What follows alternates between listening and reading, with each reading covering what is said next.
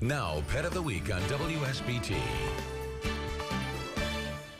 And let's say hi once again to Nancy from the St. Joe County Humane Society with the little friend Gladys. Who's Gladys? Hello. Well, Gladys is a Cairn Terrier. She's eight years old, a female.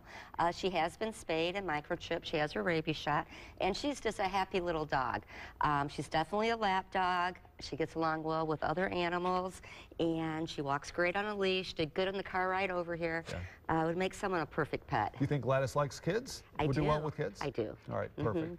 So, uh, of course, you can check out Gladys on our website, WSBT.com. Of course, always at the Humane Society as well. You see the number and information on the screen.